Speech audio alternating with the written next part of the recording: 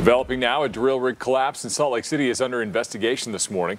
The incident sent the rig operator to the hospital and forced part of State Street to close. That's where we find April Baker. She's live now with an update. April, good morning.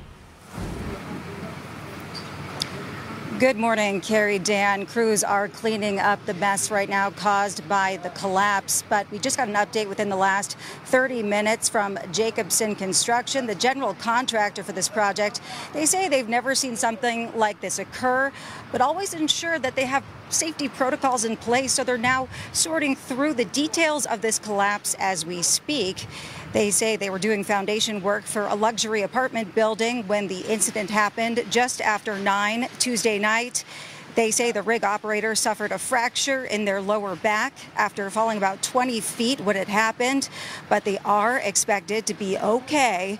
When the rig fell, it crushed two parked cars that were unoccupied at the time.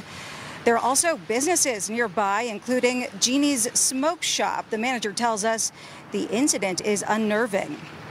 It makes me feel a little bit unsafe, you know, second guessing. I had just assumed that those everything over there was going to be fine, and uh, obviously that's not the case.